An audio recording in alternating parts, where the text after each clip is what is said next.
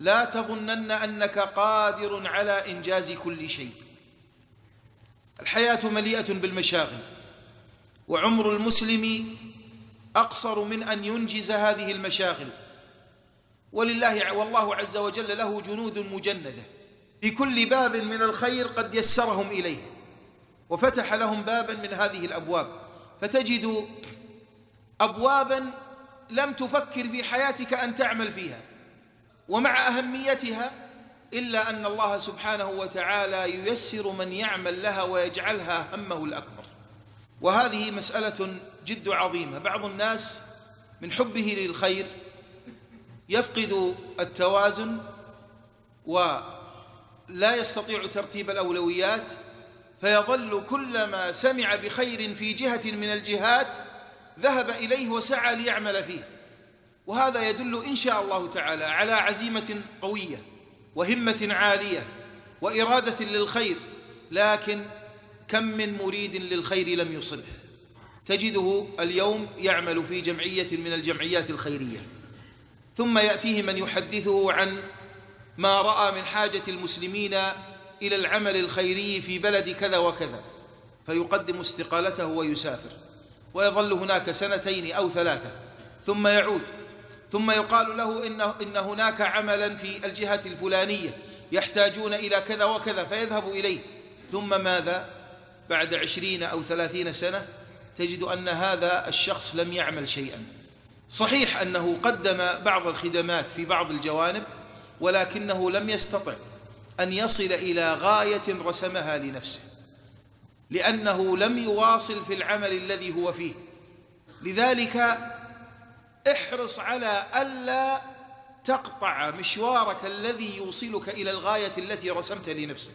ومن عجائب علو همة السلف في هذا الباب محمد بن أحمد الشيرازي البغدادي المقرئ الزاهد المعروف بأبي منصور الخياط.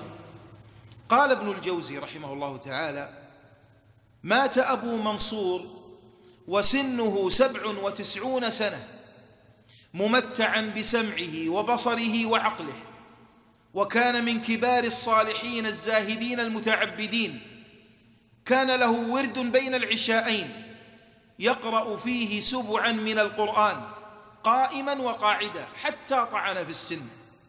قال أقرأ السنين الطويلة كان يقرئ الناس القرآن. وختم عليه القرآن ألوف من الناس. تصور إذا كان عندنا مدرس للقرآن في حلقة من الحلقات يقال هذا المدرس قد خرج عشرين طالبا. هذا ينظر إليه بإجلال وإكبار.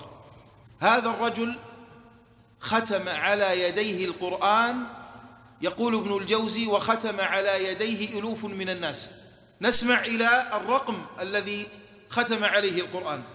قال القاضي أبو الحسين الفراء قال أقرأ القرآن بضعا وستين سنة ولقن أمما. كم هم؟ قال ابن رجب وكان إماما بمسجد ابن جردة ببغداد. قال اعتكف في المسجد مدة طويلة يعلم العميان القرآن. اهتم بالعميان. حتى أنهم أصبحوا يرحلون إليه من كل مكان إلى بغداد. فأصبح يهتم بهم. قال وكان يسأل لهم. يعني يذهب ويطلب أهل الغنى والمحسنين أن يتبرعوا ويتصدقوا على هؤلاء العميان الذين لا مال لهم. ويقوم بشؤونهم وينفق عليهم ويكسوهم ويطعمهم. قال فختم عليه القرآن خلق كثير. بلغ عدد العميان الذين أقرأهم القرآن سبعين ألفا. قال ابن النجار هذا ابن النجار صاحب الذيل على تاريخ بغداد للخطيب البغدادي. زعم أناس أن هذا مستحيل وإنما أراد سبعين نفسا. قال وهذا كلام ساقط فإن أبا منصور قد تواتر عنه. إقراء الخلق الكثير في السنين الطويلة. قال ابن رجب كان الشيخ أبو منصور يقرئ هو بنفسه وبأصحابه هذه المدد الطويلة فاجتمع فيها إقراء هذا العدد الكثير. وانظروا إلى هذه البشارة التي رؤيت له رحمه الله تعالى بعد وفاته وقد بلغ سبعا وتسعين سنة يقرئ الناس القرآن. طبعا هو اهتم بالعميان وليس معناه أنه لم يقرئ غيرهم. أقرأ غيرهم الكثير حتى الصبيان كان يهتم بهم. يقول ابن السمعاني في معجمه رؤي الشيخ أبو منصور في المنام فقيل له ما فعل الله بك؟ قال غفر لي بتعليم الصبيان فاتحة الكتاب.